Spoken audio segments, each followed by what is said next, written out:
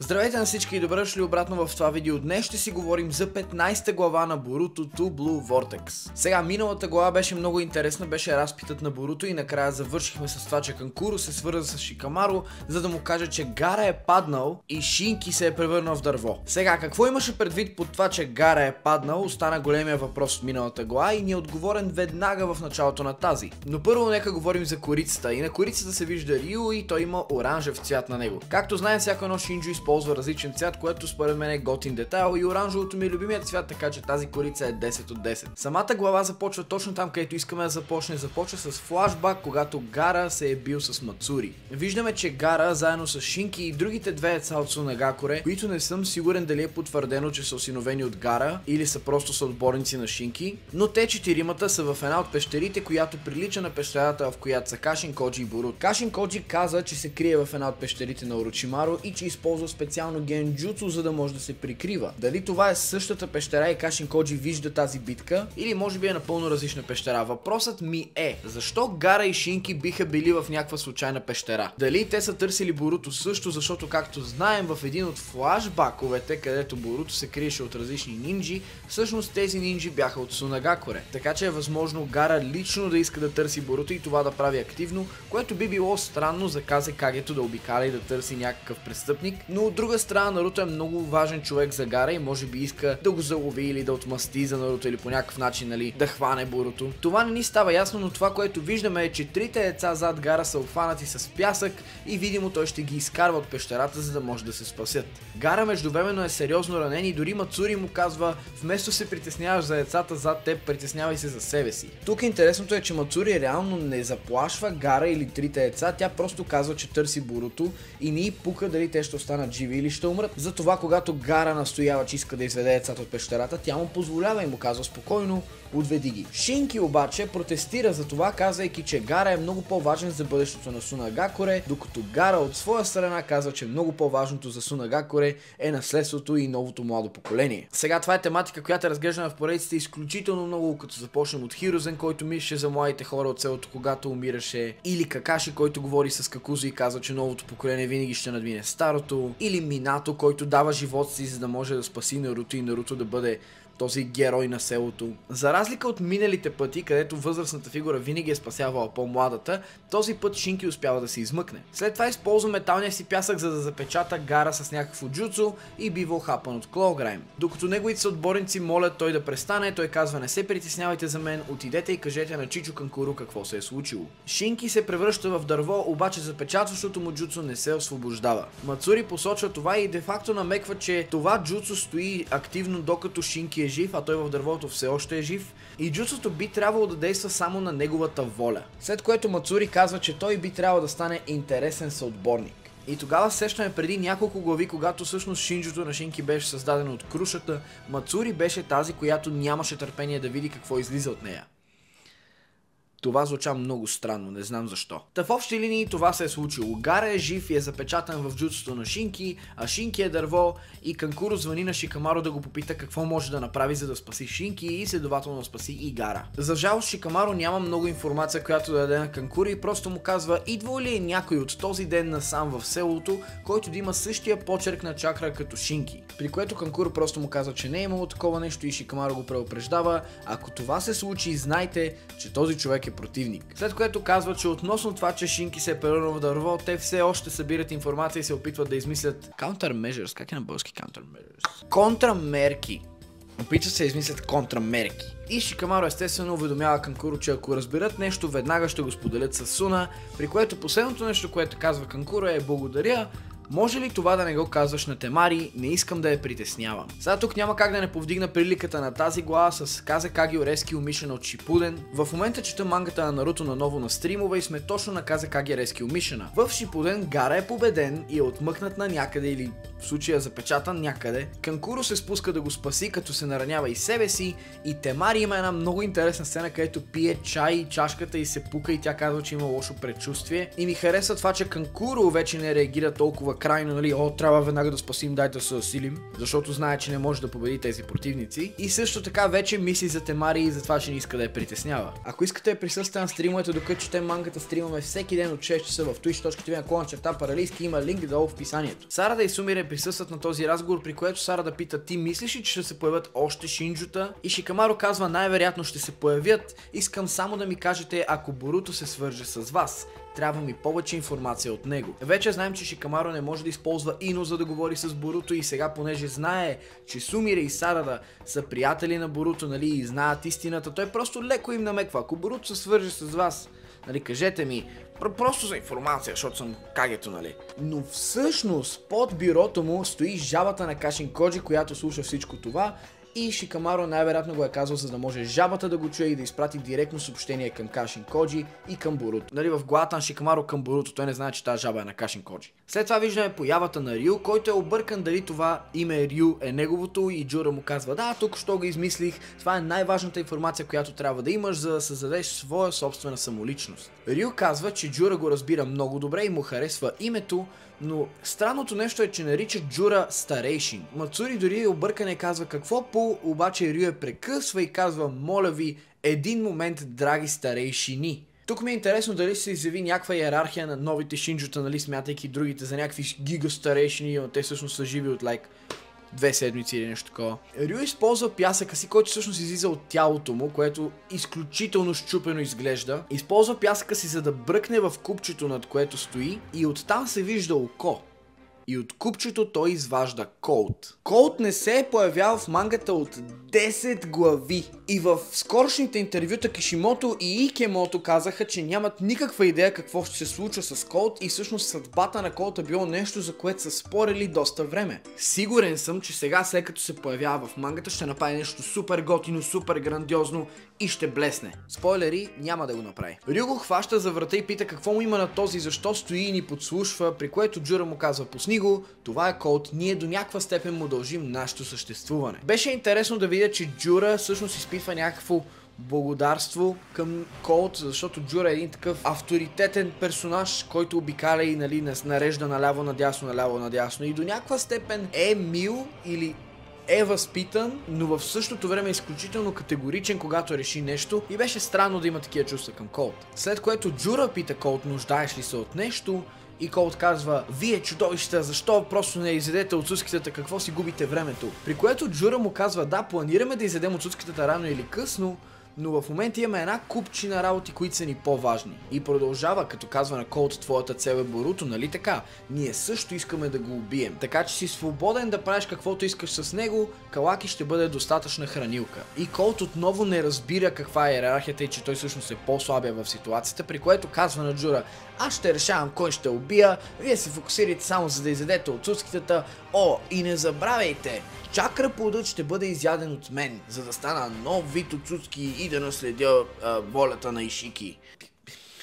Окей. Okay. Джура казва чакра плодът А, нещо с изключително много енергия събрана на малко място и генетична информация за целия живот живял на тази планета. Чудя се, какво ли ще стане ако някой от нас изяде плодът? Естествено това не се харесва на Колт и неговата реакция е ти да не би тук що да намекна, че ми се противопоставяш, явно някой трябва да те научи какво е истинска болка. Не мога да не правя този глас, Колт е изключителен анимационен герой, след което той прави два белега на земята, пъха си ръката, тя излиза от тялото на Джура и тръгва да му посяга, но Джура използва биджо бомба от окото си и успява да й откъсне ръката му с един удар. Колт реве от болка, след което спасява ръката си, използвайки белези за да спре кървенето. Джура запазва спокойствие и продължава. Благодарен съм ти, Колт, че си ни дал възможността да мислим и всеки един ден е толкова интересен, но мисля, че твоят живот му липсва малко мотивация, затова мисля, че аз ще ти дам задача. След което му казва да намери Боруто и неговия съюзник и да ги убие. В замяна Джура му обещава, че ще му даде чакра плодът. И най-подигравателно му казва, това не слага ли малко цвят в твоя сив живот? Отделно на това Бък се обажда и казва защо това да гледам твоето жалко съществуване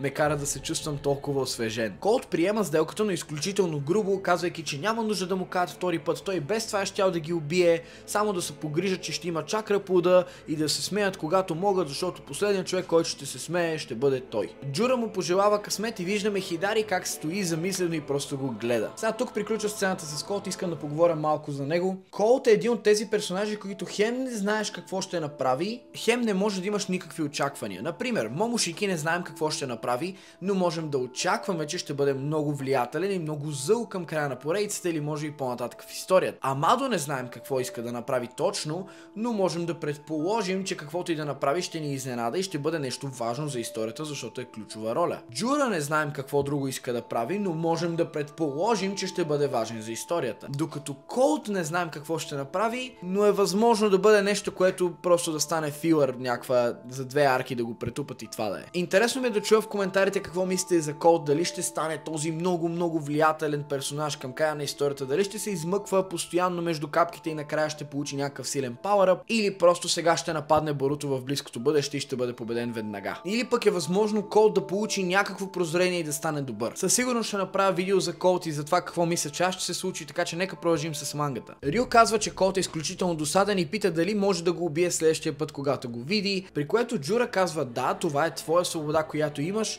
но в момента твоя приоритет е да избереш твоята цел и да следваш твоите инстинкти. Послушай сърцето си и визуализирай човека, който искаш да изядеш. Рю не се замисля за момент и казва да, това е ясно, имайки предвид, че той е запечатан специално джуцу, но аз съм този, който може да го освободи. И Джура му казва, просто го кажи на глас. Петият каза как е гара на пясъка, разбира се. Не знам за вас, според мен Рю изключително по-бързо избра своята цел. Факта, че нарича другите старейшини и това, че е много по-наясно какво следва да се случи, не пита какво съм аз, защо съм аз. Просто казва, да, ясно е, че трябва да се избера цел. Един вид смятам, че Рю е еволюцията на шинчетата и вече виждаме някакъв прогрес в тях. Също така в мангата пише, че думата Рю означава песачинка. Минаваме към последната и най-важна сцена от главата. Боруто седи върху каменното лице на Наруто над Коноха. Тук искам да вметна, че в един от романите на Наруто беше описано, че Наруто много често се е качвал на каменното лице на Минато, когато трябва да обмисли нещо или когато трябва да си изчисти ума и така нататък. Това според мен е готин паралел, че Боруто прави абсолютно същото с баща си. И освен това е форшадоинг, защото докато седи на лицата на Хокагетата, се появява Калаки. Двамата на едно и също място, точно както в първата сцена. За разлика от миналите пъти, Калаки не атакува Боруто веднага и дори Боруто го пита, защо просто не атакуваш? И сам ли си? Калаки казва, че наистина е дошъл сам, макар че най-вероятно е и да гледа. Което няма да ме очуди, защото буквално кръшът ти и новият ти кръш се срещат за първ път от 3 години и ще си говорят. Най-вероятно се пръска и си е взела пуканки да ги гледа, както нас. Когато Боруто пита Калаки защо не го атакува веднага, Калаки казва, искам да знам защо не каза на Коноха истината. Това беше изненада за мен, защото Калаки от последните 17-18 глави още преди таймскипа е бил ясно целенасочен, че просто иска да убие Боруто и няма място за разговори. Но виждайки, че Боруто всъщност лъже Коноха и не им казва, че Калаки е лош и така нататък, може би е погалило му е любопитството. Табуруто обяснява, че нищо нямаше да стане, ако беше казал истината, някои хора ще да му повярват, други нямаше да му повярват. Единственото нещо, което ще да стане е да разклати селото и да обърка всички хора в него. В този момент Коноха действа нормално и това е най-важно. Освен това, Боруто посочва, че вече има непоклатима сила благодарение на неговия учител. Тук не става ясно дали визира Саске или Кашин Коджи, предполагам, че визира и двамата, обаче не може да каже на Калаки. И друго нещо, което забелязах, Боруто поставя селото над себе си и е готов да жертва своята репутация, нали, своето бъдеще в кавички, за доброто на селото и за да може селото да функционира нормално. И за да може, примерно, Хималари и неговата сестра да живее в нормално село, а не в село, което се избива едно друго, дали а, Боруто е предател или Калаки е предател. Не знам за вас, на мене това много ми звучи като един друг герой, който много харесваме и много пишем в коментарите. Вие ще кажете дали само аз го виждам това или всички си го мислим. Калаки скача на важните въпроси и пита какво става с Момошики. Забелязах, че все още не може да контролираш карма. И това е също въпрос, който от много време се питаме и се радвам, че Калаки най-сетне може да го зададе нормално. Боруто разказва, че преди две години, когато Саски и Боруто са се срещнали с Колт са се били, е първият път, когато Боруто е използвал карма, откакто е напуснал селото. И тогава той е усетил подобно чувство на това Момошики да го превземе напълно. Тоест, Боруто е използвал карма без Момошики да го превзема, нали, просто е използвал силите, но е усетил някакво такова усещане, че Момошики може да го превземе. Описва го по този начин. Чувствах се сякаш не съм себе си и постепенно умирах, докато все още бях в съзнание. От тогава не съм използвал карма. Калаки пита защо се е случило и какво може да е довело до тази промяна и Боруто казва не знам, но Момошики от последните 3 години е напълно тих и може би това да използвам карма може да го повика отново на повърхността. И Калаки, както всички нас казва по дяволите, може би е още по-зле отколкото преди. Тук според мен влиза една много готина теория, която имахме още в началото на таймскипа и това, че Боруто и Момошики могат да се слеят напълно като мислене и като характер и така нататък. Защото в началото нали, Боруто беше много студен и хората спекулираха, че Момошики и Боруто напълно се сляли, защото преди таймскипа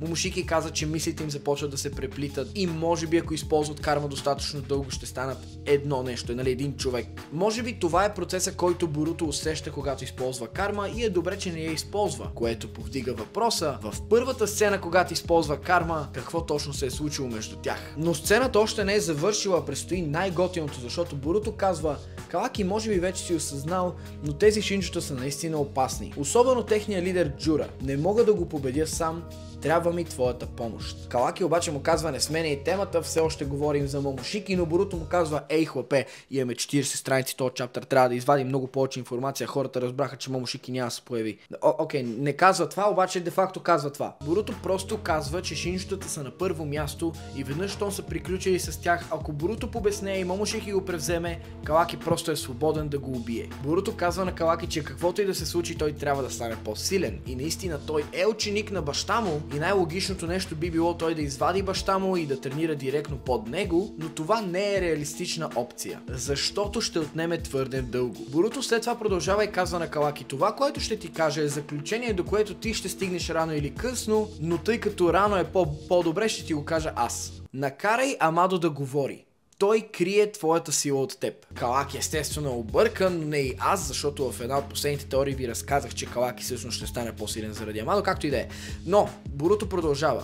В допълнение на това, че ти е върнал кармата, той е намалил офензивните ти абилитита или офензивните ти способности и е подсилил дефанзивните ти до пълния максимум. Този дядка не може да си позволи ти да умреш. Сега, Амадо гледа цялото това нещо през очите на Калаки, защото Калаки е киборг и Амадо има достъп до камерите в очите му и се чуди как може Буруто да е разбрал, след което се сеща за жабата и казва, значи тази жаба наистина е била истинска, макар че е много трудно да повярвам, че Кашин Коджи е жив. И дори да бъде жив, какво може да да направи сега? Какъв би бил неговият мотив? Боруто продължава и казва, че Амадо се нуждае от кармата на Калаки за свои собствени цели. Подчертавам, свои собствени цели. Никъде не споменава Кеби или нали, дъщерята на Амадо или каквото и да е друго свързано с нея. Свои собствени цели. Променил е способностите ти, за да може ти да не умреш. Обзалагам се, че той е очаквал, че Кол ще нападне теб. Ако мислиш, че лъжа, попитай Ямадо, аз си тръгвам. Преди обаче Боруто да си тръгне, Калаки му казва, не си сменям мнението, отсускитата са корена на всичко зло и те трябва да бъдат унищожени. Тяхна е вината, че шинжите съществуват, защото те са донесли десетоопашатото тук. Трябва да бъдат убити всички, включително ти и аз. Но ще се отървем от шинжетата първо, каквото и да ми коства, дори и това да се съюзя с теб. И Боруто му казва, дано не ме забавиш, братко, и Калаки му казва, да, ти също глупак такъв. И Кемото заслужава Мишелин звезда за тази глава. Паралели с началото на Шипуден и каза как е Rescue Mission. 300 IQ ход от Шикамаро, като технически казва на Кашин Коджи какво се случва и какво иска да стане, без да използва Ино. Код се върне и беше дисреспектнат изключително много, което е много забавно за нас за гледане, но може би сме получили намек какво ще се случи с него в бъдеще. Калаки и Боруто имат много важен разговор, който очакваме от супер много време и е на перфектното място, където могат да го имат. Появата и държанието на Рю намеква за някаква еволюция в шинджутата. Споменате Момошики и разбираме малко повече за това как Боруто се е справил с него през таймскипа и ни е обяснено, че Амадо крие някаква по-дълбока тайна от Калаки. Междувременно супер много неща остават неясни, като например Мицки, Ино, Кашин Коджи, какво правят тези герои, какво мислят, какво следва Ейда, не се знае какво мисли и какво вижда в цялото това нещо. Много готини работи предстоят. Смятам, че влизаме в нова арка, която е нали, Суна Гакоре арката. Напишете долу в коментарите какво мислите. Това видео е изключително дълго, съжалявам, че се забави и ще се видим следващия път. Благодаря страшно много на членовете, които ме подкрепят и на вас, че оставате до края на клипа. Благодаря и на хората, които са гласували във формата. Айде, чао, чао!